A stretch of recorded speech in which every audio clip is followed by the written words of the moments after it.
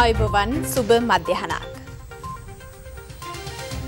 ඔබ ස්වාධීන් රූපහණේ මධ්‍යහන පුවත් විකාශය සමගින් මුලින් අවධානය ප්‍රවෘත්ති සිරස්තල වෙත.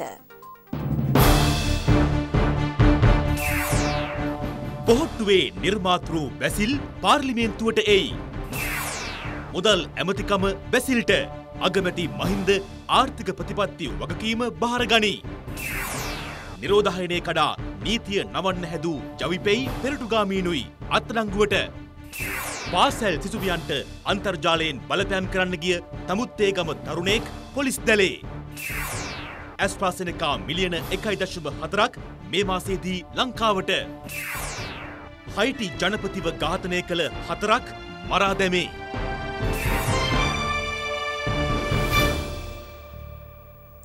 බැසිල් රාජපක්ෂ මහත්මයා මුදල් අමාත්‍යවරයා විදිහට ජනාධීපතිතුමා ඉදිරියේ දිවුරුම් දුන්නා. දිවුරුම් දීම සිද්ධ වුණේ ජනාධීපති කාර්යාලයේදී. ශ්‍රී ලංකා පොදුජන පෙරමුණේ පත් කළ මන්ත්‍රී ජයන්ත කැටකොඩ මහතා ඉල්ලා අස්වීමෙන් පුරප්පාඩු වූ මන්ත්‍රී ධුරයට එම පෙරමුණේ ජාතික සංවිධායකවරයා වන බැසිල් රාජපක්ෂ මහතාගේ නම පක්ෂයේ ප්‍රධාන ලේකම් සාගර කාර්යවස මහතා මැතිවරණ කොමිසමට ලිඛිතව දැනුම් දුන්නා. ඒ අනුව එම කොමිසම බැසිල් රාජපක්ෂ මහතා පාර්ලිමේන්තු මන්ත්‍රීවරයෙකු ලෙස තෝරාපත් කරගත් බව ගැසට් නිවේදනයක් මගින් ප්‍රකාශයට පත් කළා. අමාත්‍යාංශ විෂයපත සංශෝධනයත් සමග ආර්ථික ප්‍රතිපත්ති හා සැලසුම් ක්‍රියාත්මක කිරීමේ නව අමාත්‍යාංශයක් ඇතුළත් කරමින් ගැසට් පත්‍රයක් නිකුත් කර තිබෙනවා.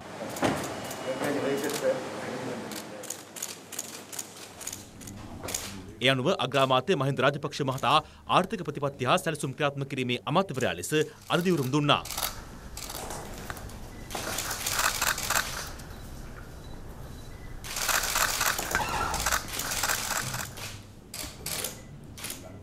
බැසිල් රාජපක්ෂ මහතා ජනාධිපති ගෝටාභය රාජපක්ෂ මැතිතුමා ඉදිරියේ නව කැබිනට් අමාත්‍යවරයෙකු ලෙස දිවුරුම් දුන්නේ අද පෙරවරුවේ.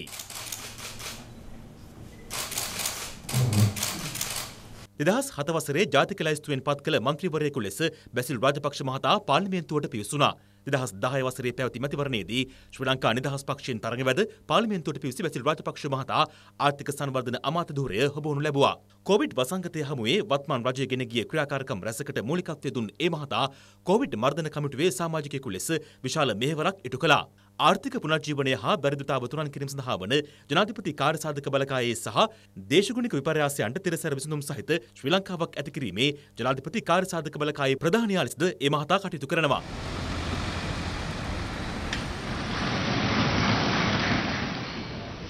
මේ අතර මුදල් අමාත්‍යවරයා ලෙස දිවුරුම් දුන් බැසිල් රාජපක්ෂ මහතා පාර්ලිමේන්තු මන්ත්‍රීවරයෙකු ලෙස කතානායක මහින්ද යාපා අබිවර්ධන මහතා ඉදිරියේ දිවුරුම් දුන්නා.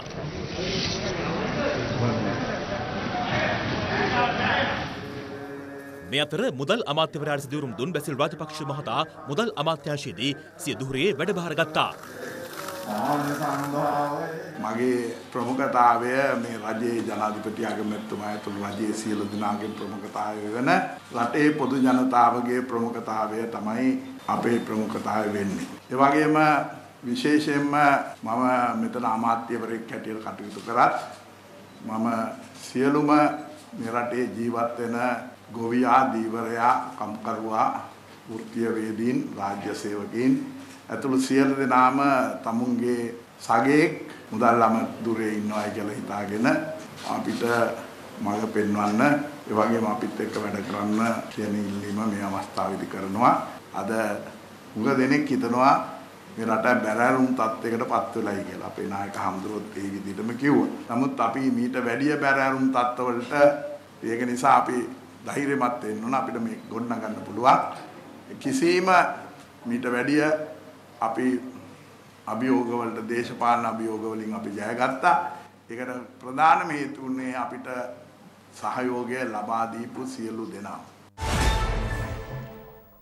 බැසිල් රාජපක්ෂ මහත්මයා අමාත්‍යදුරේ දීරුම් දීලා රාජකාරී ආරම්භ කිරීමත් එක්ක රටපුරා ජනතාව තමන්ගේ සතුට ප්‍රකාශ කරන්න කටයුතු කළේ මේ අයුරින්.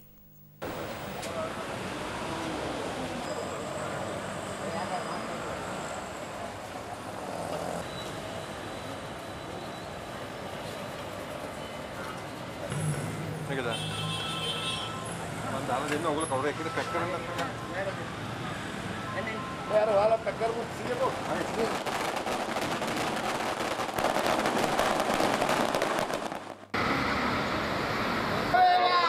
ಬಂತು ಮಾಟ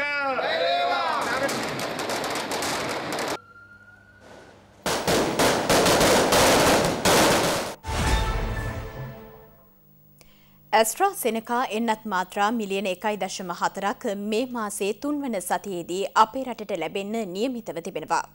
ඒ හේතුවෙන් ඇස්ට්‍රා සෙනකා දෙවන එන්නත වෙනුවට ෆයිස එන්නත ලබා දෙන්න ආරම්භ කරලා තිබුණ වැඩපිළිවෙල අත්හිටුවන්න සෞඛ්‍යංශ තීරණය කරලා තියෙනවා.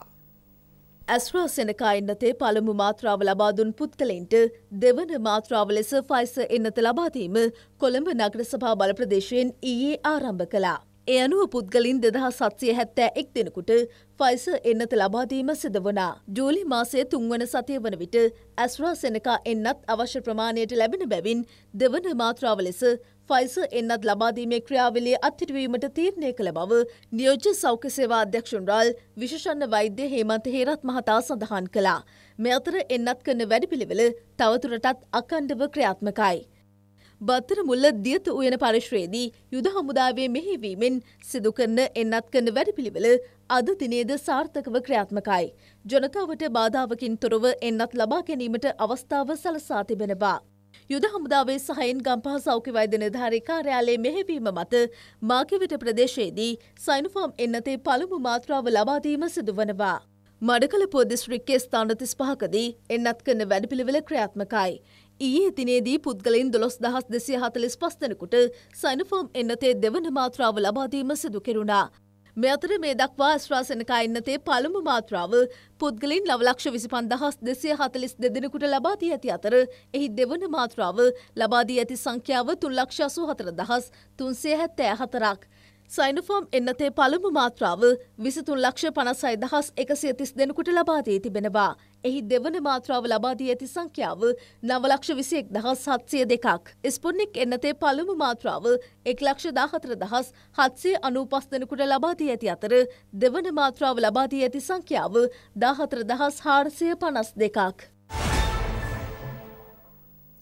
ලැම්ඩා කොරෝනා ප්‍රබේදය වගේම වෙනත් ප්‍රබේදවලින් ආරක්ෂා වෙන්න සෞඛ්‍ය පුරුදු ඒ ආකාරයෙන්ම පිළිපදින්න ඕනේ කියලා සෞඛ්‍යංශ අවධාරණය කරනවා.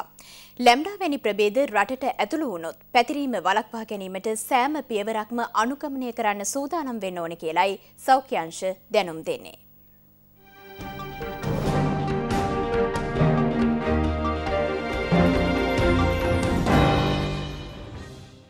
ඩෙල්ටා ප්‍රබේදයට වඩා බිහිසුණු ප්‍රබේදයක් වූ ලැම්ඩා කුරුණා ප්‍රබේදය මේ වන විට රටවල් තිහකට ව්‍යාප්ත වී තිබෙනවා. එම ප්‍රබේදය මෙරටට ව්‍යාප්තවීමේ අවධානමක් පවතින බැවින් ඒ සම්බන්ධයෙන් දැඩි සැලකිල්ලක් යොම් කිරීමටයි සෞඛ්‍යංශ කටයුතු කර ඇත්තේ.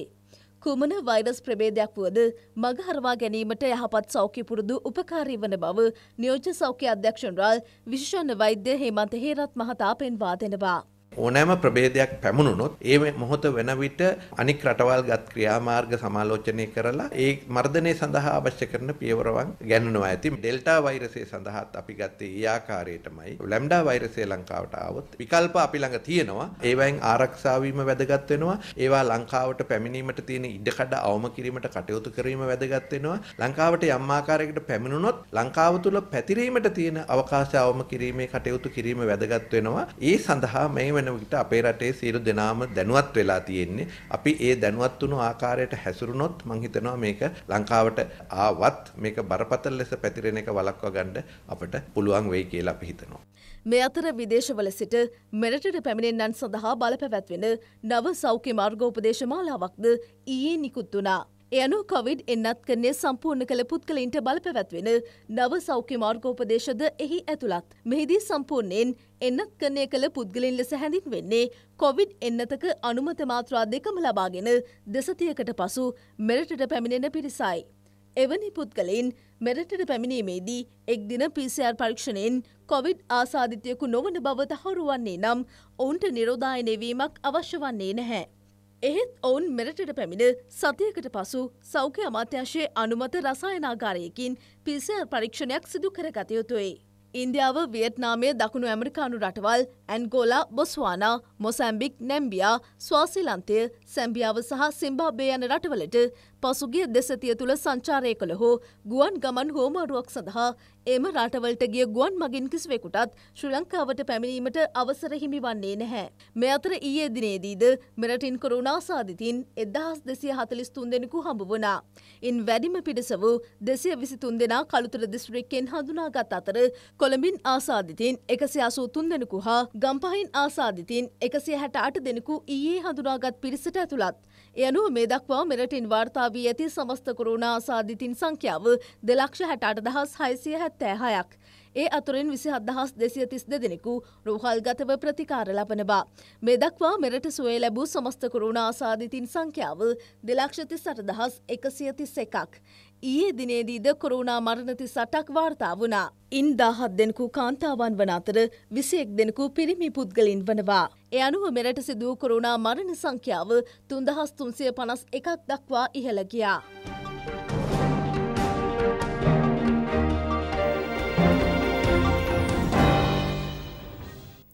ජනතා ඒකරාශී වීම උද්ඝෝෂණ වගේම විරෝධතා පැවැත්වීම් තහනම් කරලා තියෙන පසුබිමක විවිධ කණ්ඩායම් සහ දේශපාලන පක්ෂ එම නියෝග කඩ කරලා විරෝධතා පවත්වන්න උත්සාහ දරනවා. අදත් එවැනි උත්සාහයන් කිහිපයක් වළක්වන්න පොලිසිය කටයුතු කිරීමේදී උණුසුම් තත්ත්වයක් ඇති වුණා. පෙරටුගාමී සමාජවාදී පක්ෂ ඇතුළු දේශපාලන පක්ෂ කිහිපයක හා සිවිල් සංවිධානවල සහභාගිත්වයෙන් පොල්දුව මාසන්තයේදී උද්ඝෝෂණයක් සංවිධාන කර තිබුණා. උද්ඝෝෂණ පැවැත්වීම තහනම් බව සඳහන් කරමින් පොලිසිය කර තිබූ නිවේදනයද නොතකා උද්ඝෝෂකයින් කටයුතු කිරීම හේතුවෙන් උණුසුම් තත්ත්වයක් ඇති වුණා. මාධ්‍යවේදියෙකුගේ කැමරාවට පොලිස් නිලධාරිනියක් පහර දීම හේතුවෙන් දැඩි විරෝධතාවක්ද එල්ල වුණා. විසි දෙනෙකුට අධික පිරිසක් අත්අඩංගුවට ගැනීමටයි පොලිසිය කටයුතු කළේ.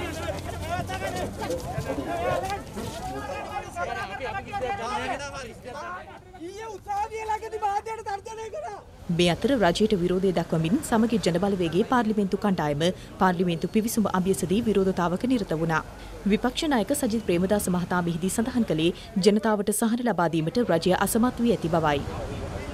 ජනතා විමුක්ති පෙරමුණේ මෙහෙයවීමෙන් පානදුර නගරයේදීද විරෝධතාවක් පැවැත්වුණා. කොතලාවල අධ්‍යාපන පනතර එරෙහිව පැවති මෙම විරෝධතාවට හිටපු පාර්ලිමේන්තු මන්ත්‍රී නලින්ද ජයතේස මහතා ඇතුළු පිරිසක් එක්ව සිටියා. පොලිසිය නිකුත් කළ අවවාදද නොතකමින් මෙම පිරිස උද්ඝෝෂණ යෙදී සිටි අයුරු දක්නට ලැබුණා. ඉන්දන මිල ඉහළ යාම ඇතුළු කරුණු කිහිපයක් මුල් කරගනිමින් ජනතා විමුක්ති පෙරමුණේ මෙහෙයවීමෙන් අකුරැස්ස නගරයේදී විරෝධතාවක් පැවැත්වුණා. නිරෝධායන නීති කඩ කරමින් ඊට එක්ව සිටි ජනතා විමුක්ති පෙරමුණේ හිටපු පළාත් සභා මන්ත්‍රීවරුන් දෙදෙනෙකු ඇතුළු 13 දෙනෙකු අත්අඩංගුවට ගැනීමටයි පොලිසිය කටයුතු කළේ. ඔවුන්ට එරෙහිව අධිකරණ ක්‍රියාමාර්ග ගැනීමට කටයුතු කරනවා.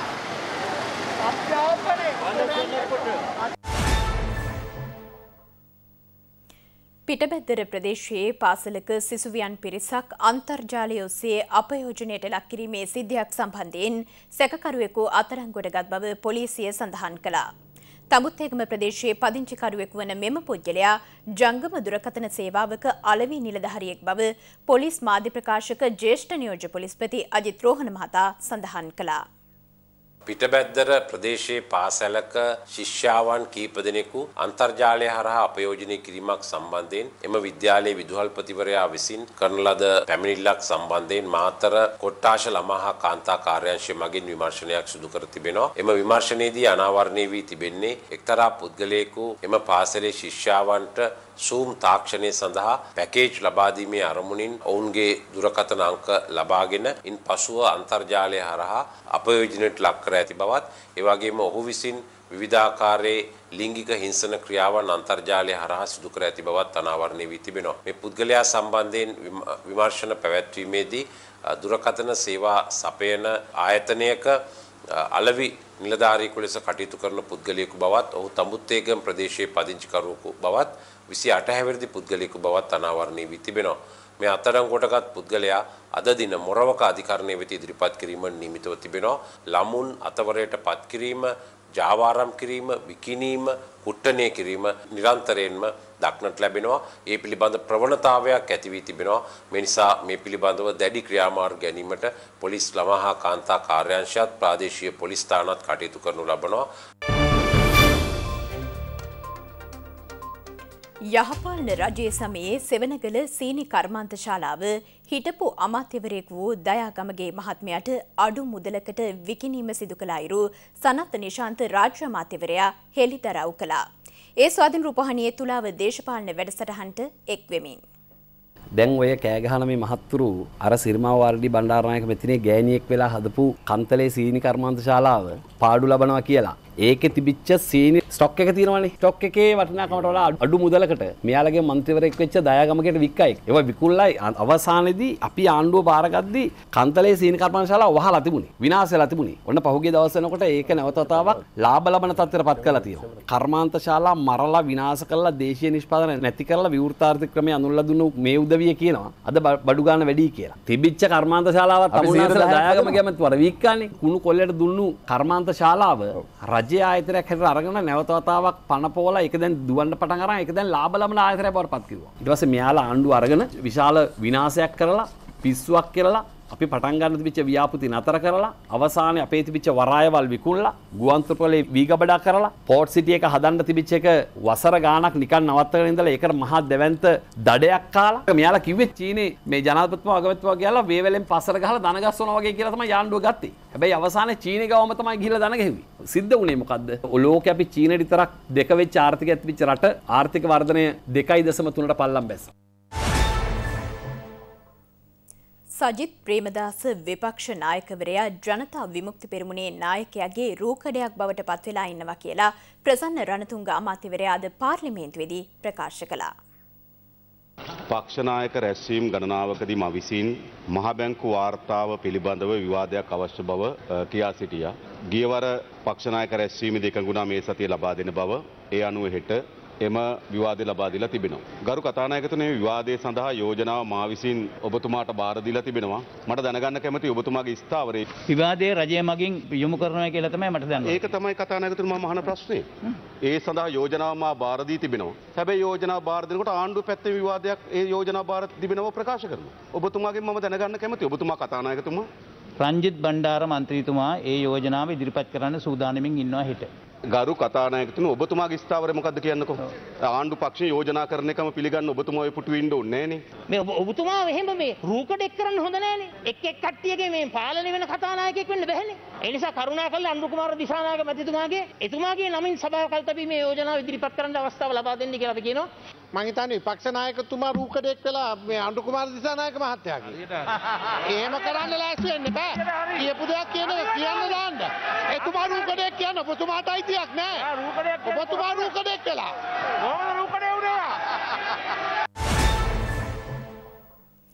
පොලිස් මාධ්‍ය ප්‍රකාශක ජේෂ්ඨ නියෝජ්‍ය පොලිස්පති අජිත් රෝහණ මහත්මයා ජේෂ්ඨ නියෝජ්‍ය පොලිස්පති රථවාහන හා අපරාධ ලෙස රාජකාරී ආරම්භ කළා. බත්තර මුල්ල පිහිටි එම කාර්යාලයේදී මහා සංඝරත්නයේ ආශිර්වාද ලබා ගනිමින් අජිත් රෝහණ මහතා රාජකාරී ආරම්භ කළා. ඒ සෞඛ්‍ය නිරෝධායන නීතින්ට අනුගත වෙමින්. ඒ මහතා යටතට අපරාධ දිසාව මද්‍රව්‍ය නාශක කාර්යංශය හා රථවාහන පාලනය මාර්ග ආරක්ෂණ දිසාව හා නාවික සහ සංචාරක දිසා වැන දිසා හතරමෙන්ම ඊට අදාළ කොට්ටා සෙකුලහක්ද අයත් වනවා.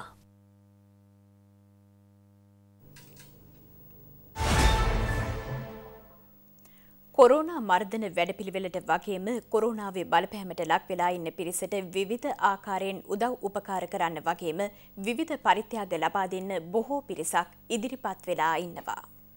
කොරුණා ප්‍රතිකාර මධ්‍යස්ථාන සඳහා අවශ්‍ය උපකරණ තුගයක් ලබාදීමට ගල්ගමු සහ යාපහුව සිංහ සමාජය කටයුතු කළා. අඹන්පොල රෝහලේ කොවිඩ් ප්‍රතිකාර ඒකකෙට එම පරිත්‍යාග ලබාදීම සිද වුණේ තුන්සිය හයිබී දෙක සිංහාධිපති කෞශල්‍ය රාජපක්ෂ මහතා ඇතුළු සිංහ සමාජ නිලධාරීන්ගේ සහභාගිත්වෙන්. මෞබිම වෙනුවෙන් ශ්‍රී ලාංකිකයෝ සංවිධානය මෙහෙවීමෙන් කොරුණා ව්‍යසනයෙන් පීඩාවට පත්ව සිටින ජනතාවට වියලි ආහාරද්‍රව්‍ය බෙදාදීමක් ආනමඩුව වඩිත්තගම ශ්‍රී සරණංකර පිරිවෙනේදී සිදු වුණා.